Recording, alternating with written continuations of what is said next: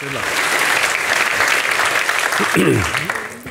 yeah, thank you, Vincent, for this uh, introduction. And together with Leo Dijkstra from IBM, I'd like to take you in the, into the energy uh, world after all these uh, financial uh, discussions. Because um, we're living in very exciting times. We're living at crossroads of, on one hand, energy transition and moving to a sustainable world, and the, uh, the, the, vast opportunities that digitalization uh, provides us with. And really, the, the use case that we'll show you and what we'll discuss here is, uh, is on the edge or on the crossroads of two, uh, these, two, these two areas. It's good to see that a lot of you already know, uh, know TenneT. TenneT is the transmission system operator, a company serving uh, both in the Netherlands and, and Germany. It is uh, state-owned. Um, it's over 20,000 kilometers of the, uh, yeah, the high voltage cables that we see all over the country. Uh, we serve over 40 million uh, end user customers uh, through, this, through these grids. we have a vast investment portfolio in assets still, some 25 billion euros over the next 10 years. Uh, which is also used to connect all the, uh, the new wind farms on, uh, on the offshore, and the North Sea and, and north of Germany. TenneT has got three major role, roles. One is the transmission service, which is really managing the, the grid, those 20,000 uh, kilometers. The other is system services, not so much known. It's making sure the system is kept at 50 hertz. I'll go more in detail about that because that is the crux of what we do. And third is market facilitation. By today, people can trade energy from Finland to Italy on day-ahead intraday markets, and this was not possible uh, uh, some 10 years ago. So, use activities on the market facilitation as well. If I look at uh, system services, something that not many people know is that at any given moment of time, the demand and the supply in our electricity system has to be equal. If not, we have a blackout. We have experienced some blackouts in California, some, some, some cases. And, and, and, the key role of TenneT as a, transmission system operator is to manage this, uh, uh, this balance. And we, uh, yeah, we, we, use the big power uh, stations, the gas-fired stations. If the system is short or long, we ask people to, uh, yeah, to turn up or to turn down the, uh, uh, the, the, production. Now, the system operations is uh, due to massive change, because in the past, the entire system was very predictable. A couple of big power plants, a centralized system, we did know what the consumers did and the, the, the, the, the, the business. And we are moving to a, to a new future where the market is completely unpredictable. Uh, we are interconnected to, to other markets. It's going to be a weather-based systems. We don't know if the sun shines or if the, if, if the wind will blow. And all these on the real time, or very close to the real time, needs to be, needs to be uh, matching. Especially consumers that were consumers will turn into prosumers. They will deliver uh, power, they will store power in batteries in their cars or in their households. So how to keep the balance between demand and supply in this very system. And that's where the technology comes in blockchain. We are currently running pilots both in Germany with a startup company called Sonnen and in the Netherlands with Vandebron, uh, based on the private blockchain uh, Hyperledger uh, framework. Uh, to, to, to, balance the grid in the Netherlands and to, uh, yeah, to, to, manage the congestions in, in Germany. I'll hand over to Leo, who will show a little bit, a little bit more about the cases, and we'll end up with a, a very small film that summarizes the whole thing, and which hopefully uh, yeah, demonstrates you how yeah, the, the, the, beating heart of the energy system can be disrupted, can, can, can be game changed by this new technology called, called blockchain. Leo, if I can hand over to you. Thank you. Yeah, thank you, René. Um, as Wiebe Dreyer already said this morning, uh, clients are not asking for blockchain. They're asking for solutions. And that's actually what we uh, deliver together with uh, TenneT Vandebron and uh, Sonnen e-services in Germany. Um, and we're going to show you an example of what, what this looks like in practice. But let me ask a question first to you. Who came here, apart from Vincent, by electric car today? That's quite a few already. So who of you would like to earn money with that car while doing nothing, while not charging? Sounds like a good idea, right? So here is how that works. Meet Freek. Freek is an enthusiastic millennial, uh, pretty successful, has a nice Tesla. And he decides to join up for this idea. Great idea.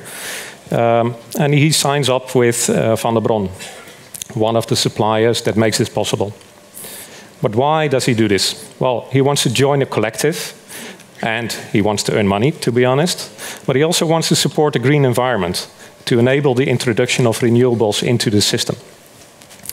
Um, how does he do it? He opens the Vandebron app, he signs up for the service, and he selects the device that he wants to work with his car or his uh, home battery. After onboarding, he plugs in, just like normal, when he gets home.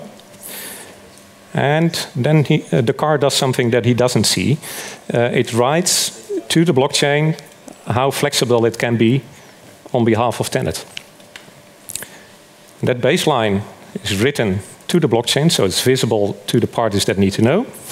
And if TenneT is uh, experiencing um, uh, a drop in production, then TenneT can ask the community, these cars, to temporarily stop charging.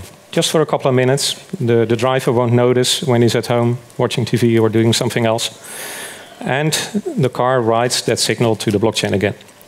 In the morning, what happens? Freek just unplugs his car, just like always. The only difference is that he can see what his car did during the night, for instance, or during the evening, and how much money he earned actually with that car. And he drives off happily in the morning.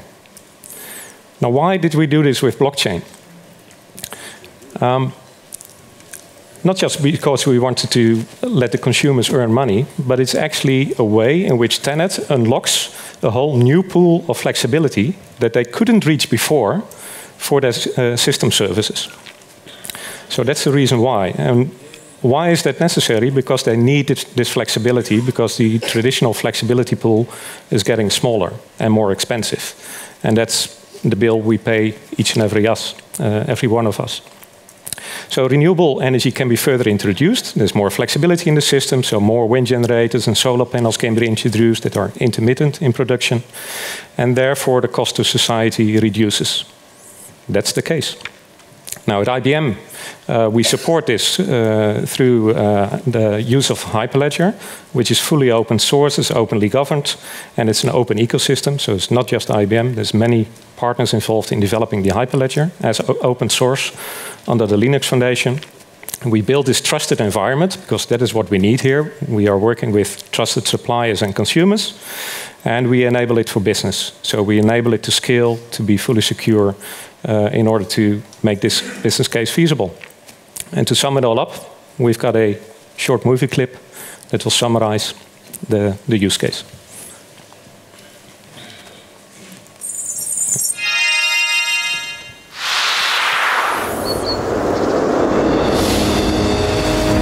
It is not just power generation that is changing due to the energy transition. So too are consumer habits. Consumers are becoming producers, as many of them generate electricity themselves and feed it into the grid transmission system operators must react flexibly to this volatile feed-in of renewable electricity into the power grid and to the increasingly complex energy consumption behavior. In this context, blockchain technology offers a unique potential for the entire energy sector. It supports the secure and fast exchange and storage of data. As a consequence, end users will help to keep the grid stable. With two groundbreaking blockchain pilot projects, TenneT is now setting a revolutionary milestone for the energy supply system of the future. Allowing TenneT to integrate flexible capacity of household batteries and charging points of electric cars. Thus, the blockchain network acts as a virtual power plant. In Germany, TenneT, in collaboration with Sonnengruppe, is integrating decentralized battery storage systems into the energy supply system. A network of domestic solar batteries is operating via the control center of Sonnen e-services to constantly adjust the intelligent charge management of the batteries to the respective demand in the TenneT network. In a second pilot project in the Netherlands, TenneT, in collaboration with Vandebron, uses the capacity of car batteries to help balance the grid by interrupting or reducing the battery's charging capacity and feeding the energy into the power grid instead.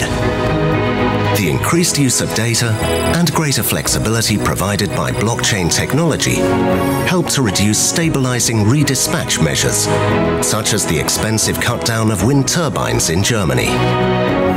Means, in the future, we will no longer have to waste wind power just because we cannot transport it in the Netherlands, the use of blockchain technology helps to make sure that not only power plants will steadily maintain the balance between production and consumption. Now owners of electric vehicles can also help to keep the grid frequency at 50 Hz. Both pilot projects are the next innovative step in shaping the energy environment of the future and in giving consumers the opportunity to actually contribute to the energy transition. TenneT, taking power further. Okay, thank you. Well, that was a good, uh, good. Well, my first question. I don't know how many questions are there. Thank you. Sorry about that. Um, how much money can I earn? Um, first of all, we, we do this first implementation Yeah, with, with two I, companies. I want to be a volunteer. I mean, you can take yeah, but then you have to talk to the retailer in this case. So, So we do this pilot with a, a retailer, Yeah. but the ambition is to have it as a first implementation. Uh, TenneT is a company that does not discriminate between all the market parties. Yeah. So we'll open up for other market parties once, once the concept is proven. And it's up to the retailer to decide how much money he would like to give. and the retailer is Vandebron. It's from the, but it could be up This to one. hundreds Um, of euros. Let's put it that way. Hundreds of euros per year to Yeah. basically do that. Depending this- how much this balancing like the, and this is just balancing the frequency, right? I mean, Yeah, when you go to balancing, you know, just really the actual kilowatt hours, there's a much bigger market to No, be no, no, no. explored. We integrate the balancing market from these. These the wholesale and retail markets are being integrated. So the, it, it- today, TenneT can only procure balancing service from the larger power plant, the gas stations, and these guys are a monopoly. There's less and less of them, so prices go up. By untapping now these decentralized battery sources from cars or home batteries, Yeah. uh, we can lower the societal cost of balancing this grid. Okay, so that will be very interesting. Now, how far are you with implementation? You know, just Quite far. We are. Uh, oh, maybe you want to talk about. Yeah, actually, this is a very concrete case. Uh, we're currently uh, developing the, the software and testing it. It's in the testing phase now. I think Germany is slightly ahead of uh, the Netherlands, but uh, at the beginning of this autumn, we'll actually have live vehicles and batteries uh, balancing the grid. So it's a very concrete case. Yeah, Yep. it's interesting. It, there's a question here. Is this like Eneco CrowdNett? Question three. Who asked that question? Um, no, it's not. It's different from Eneco Crowd uh, CrowdNett. There is. They're balancing the web, the net with the with the power wall, right, Yeah, from the- Tesla. They don't balance. There's only one party uh, in the Netherlands that is responsible for balancing the grid, and that is TenneT. Okay. So the value of balancing the grid can only be shared by TenneT. We could make that money available for, for, for, for consumers having cars and solars.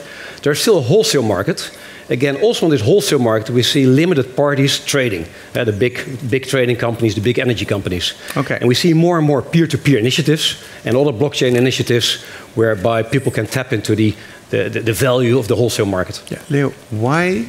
I mean, you you have also a little database company, right, inside IBM. You know, just teeny little database, and about half the companies run on it. Why not just use a nice little database for that? Why do you need to go through the effort of doing this uh, with uh, this blockchain thing? It's the trust that blockchain enables. TenneT can now, for the first time, trust that these cars actually did what they were saying they were doing and that nobody tampered with it. That's the key to this implementation. Yeah, trust is built in. Yeah. You don't have to put a whole lot of all kinds of processes to verify that that Yeah. car really did what he did. What the car Exactly. writes to the blockchain directly cannot be changed. Yeah. It's there forever, that, that information, Yeah. and also what it actually did. Uh, it writes directly to the blockchain, so it cannot be tampered with. And TenneT knows for sure how much money to give to that uh, aggregator. Okay, Yep. wonderful.